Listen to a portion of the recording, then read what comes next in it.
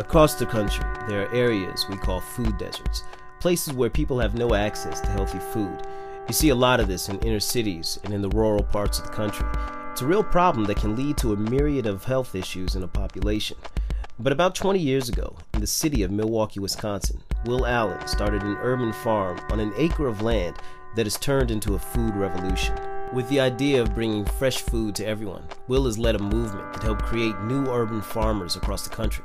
One of the farms he helped inspire is just across town in an old warehouse. We are at Sweet Water Organics uh, Fish Vegetable Farm in uh, Bayview, Milwaukee. Uh, my name is James Godsil. I am uh, one of the uh, co-founders and uh, partners in this experiment. Sweet Water is a very different type of farm. The factory building it's housed in is a throwback from an earlier time but the farm inside is something from the future, with rows and rows of leafy greens and trenches filled with fish and water. It's a very unique place. I guess this is how Mother Nature must operate. We're mimicking Mother Nature, uh, certainly imperfectly and in halting steps. And uh, food, for me, is the easiest way to bring people of different identity groups uh, to the same table.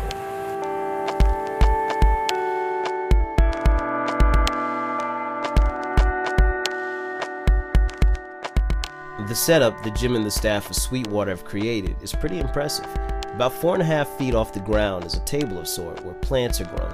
They're under lamps for heat and spaced out perfectly, with soil around the roots and water flowing around that soil. Now the water drains under the table into a trench filled with fish. The fish live in those trenches, and their waste will be used as fertilizer to the plants. So the water with the waste, along with some added bacteria, is pumped back up into the plant area.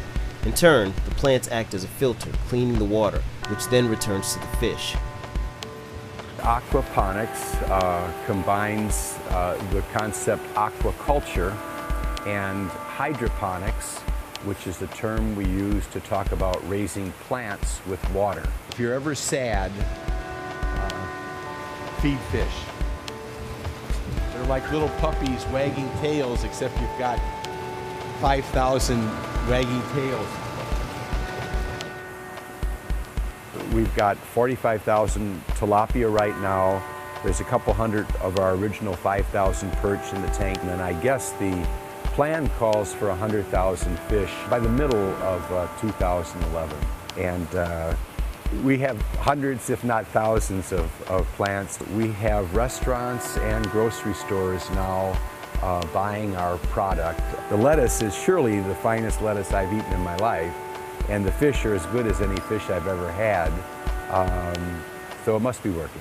Every day, Jim goes to a large grocery store. Hey, Jim picks up a truckload of discarded organic materials like fruits, veggies, eggshells.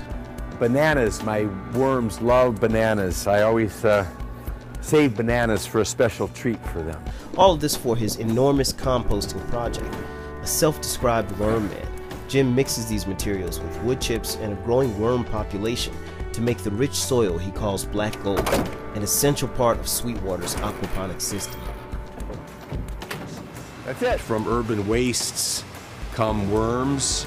From worms come fish. From fish come plants. Yes, eggshells. All plants right. and fish to the people in a kind of a, a loop. Five years ago, I set about to begin growing soil. Uh, Will taught me how to, to do that. I met Will Allen's Growing Power, and Will says, it's not how green your thumb is, it's how fertile is your soil.